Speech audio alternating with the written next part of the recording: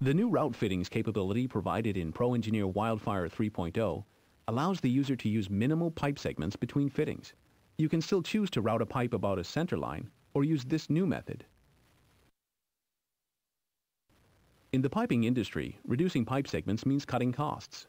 What you are seeing in this example is how you can use ProEngineer piping design to now route a series of fittings prior to routing a pipe center line.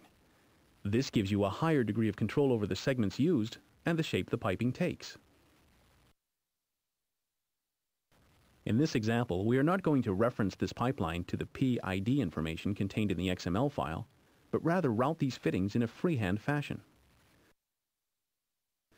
As we work our way along the pipeline, we can add flanges, reducers, or elbows until we get to the location we want to end the pipe.